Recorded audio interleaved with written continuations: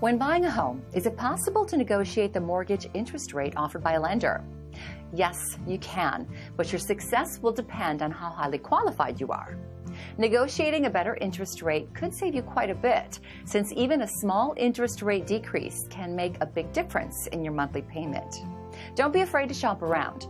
The rate offered by one lender might not be the same as the rate offered by another. Even if you're not successful in negotiating a lower rate, you still might be able to negotiate on some of your closing costs.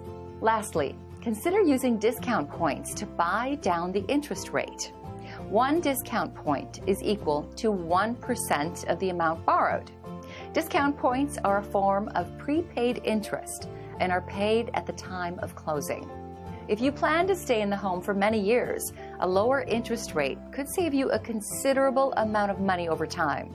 So negotiating the best interest rate you can is well worth the effort.